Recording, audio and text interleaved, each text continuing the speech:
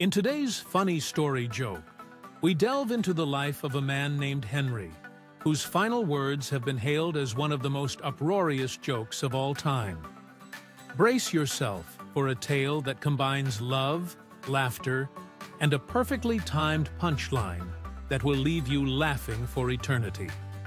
Get ready to meet Henry, a man who turned the art of humor into a legacy and gave his town something to laugh about for generations. In a small, picturesque town, there lived a man named Henry and his notoriously difficult wife, Mary.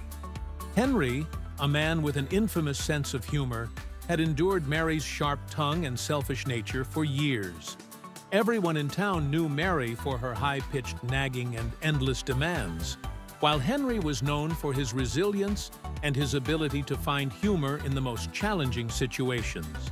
Henry's life had been one of quiet endurance and subtle jokes. He had learned early on that the best way to cope with Mary's constant complaints and unreasonable demands was to laugh. He was the kind of man who could find a silver lining in the darkest clouds, and he had become something of a local legend for his ability to turn even the most aggravating circumstances into a punchline. As fate would have it, Henry fell gravely ill. His once vibrant and playful spirit was now confined to a bed in their modest home. The illness had taken a toll on him, but his sense of humor remained intact. He often thought about the best way to leave a final mark on the world.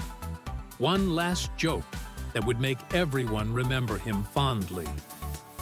One evening, as the sun dipped below the horizon, casting a golden glow through the bedroom window, Mary barged into the room. Her face was set in a permanent scowl, and she carried a cup of tea which she unceremoniously plunked on the bedside table. Here's your tea, Henry. Drink it while it's hot, and don't spill it on the sheets again, you hear? She barked, her voice cutting through the peaceful evening like a rusty saw. Henry looked up at her, a weak smile playing on his lips. Thank you, Mary. Can you sit with me for a moment? I have something important to discuss with you. Mary sighed dramatically, rolling her eyes. All right, but make it quick. I've got things to do. She snapped, tapping her foot impatiently. Henry chuckled softly, a sound that seemed to irritate Mary even more. Of course, my dear, it won't take long. What is it? Henry! Henry took a deep breath, his frail hand reaching for hers. Mary, I've been thinking about what will happen after I'm gone. I want to make sure you're taken care of. Mary's eyes widened slightly, surprised by his concern. It was so unlike Henry to be serious. Oh, Henry, that's considerate of you.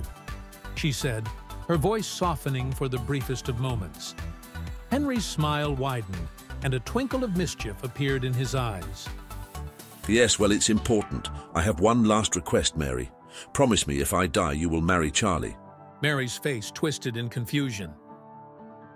Charlie, your best friend, but you hate him. She exclaimed, her voice rising in pitch. Henry's eyes sparkled with mischief as he looked into Mary's eyes.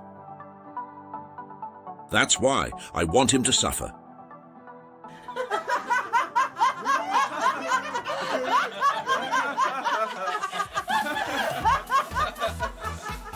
If you liked our joke, then please watch our next joke by clicking here.